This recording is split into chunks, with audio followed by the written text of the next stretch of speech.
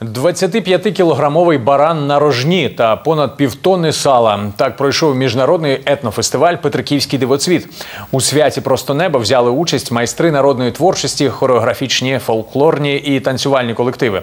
На масових гуляннях побувала і Олена Кузьменко. На головній вулиці Петриківки розгорнувся колоритний український ярмарок. Кожен район нашої області намагався представити не лише особисті досягнення, а й показати національні традиції свого регіону: гончарство, ткацтво, вишиті бісером ікони, різноманітні розписи та вироби з природних матеріалів. Такий собі фестиваль народного мистецтва.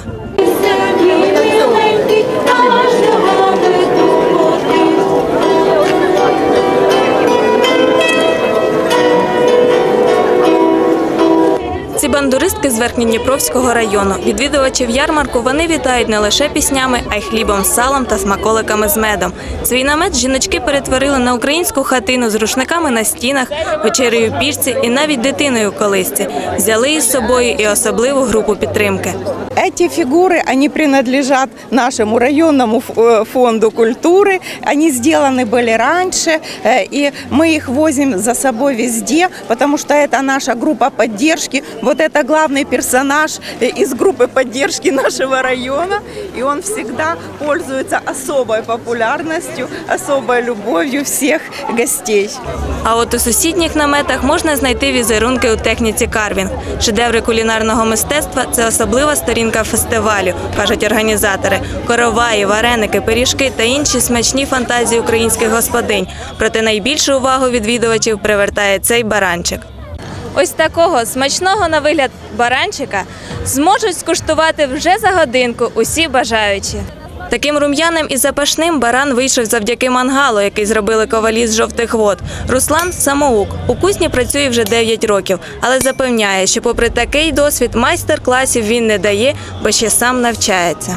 Учить не учу, я, можно сказать, я еще сам учусь, потому что до совершенства ого-го еще как далеко-далеко. На згадку деталям Руслан дарує щойно виковану підкову. –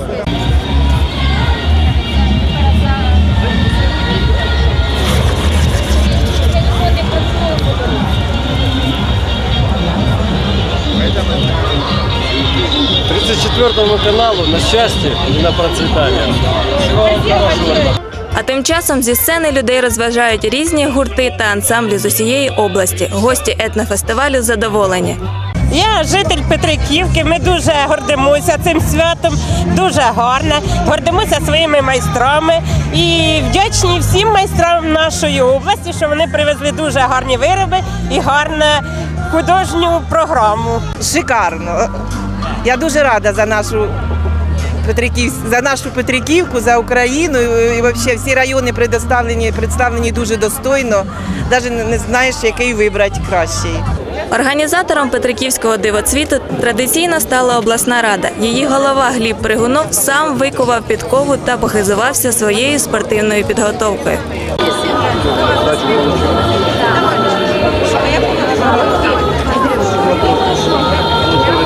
Головне, що кожен е, з цього фестивалю виніс для себе якийсь е, поштовх для розвитку, для розвитку свого внутрішнього якогось е, чи навчання, чи розвитку якихось надбань. Для нас, напевно, це головне, що це об'єднує мешканців нашої області.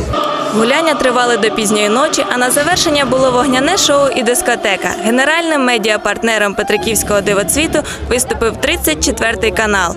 Олена Кузьменко, Богдан Пападін. Деталі.